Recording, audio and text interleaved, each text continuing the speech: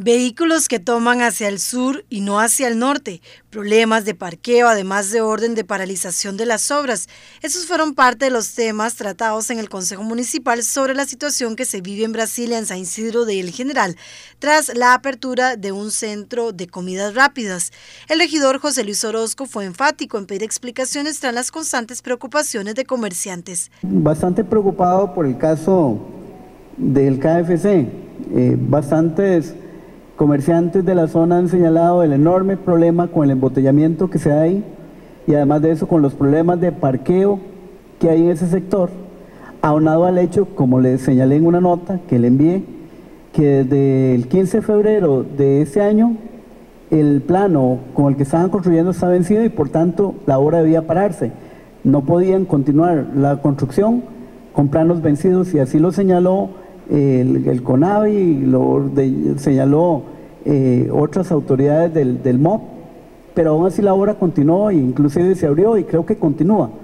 Entonces quisiera una explicación de que los vecinos del cantón se enteren por qué, por qué eso sucede, si había alguien a cargo de la municipalidad de supervisar dicha obra. Al respecto, el alcalde Jeffrey Montoya dijo que la obra del edificio como tal tiene paralizaciones e hizo referencia a que están esperando criterios por parte del Ministerio de Obras Públicas y Transportes, así como del CONAVI, sobre la situación vial que se da en ese punto por la señalización que se tiene. Yo creo que ya le hemos dado, le hemos brindado la información al respecto.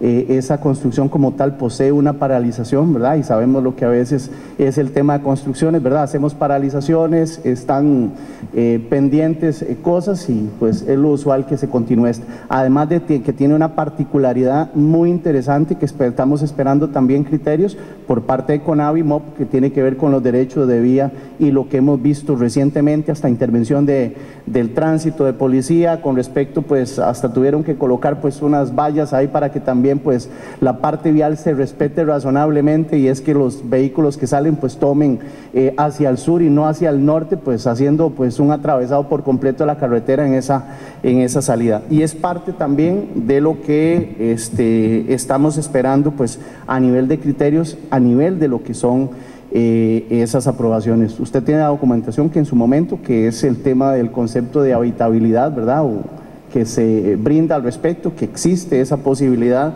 de lo que es brindarse sobre obras este, eh, en tránsito. Por lo que esperan la respuesta por parte de las autoridades sobre este tema.